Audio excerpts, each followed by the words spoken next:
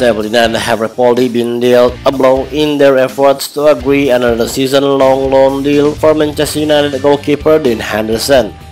The former England under-21 international has boosted his stock during two temporary spells at Bramall Lane, putting him in consultation to become a future number one at Old Trafford.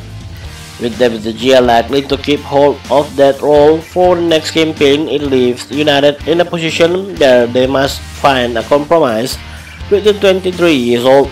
The Sun claims that club officials are willing to hand Henderson a significant pay rise in order to fend off interest from other clubs, including Chelsea. However, that would seemingly put Sheffield United in a weaker position with regards to a third successive loan deal as United demand that Henderson's wages are paid in full.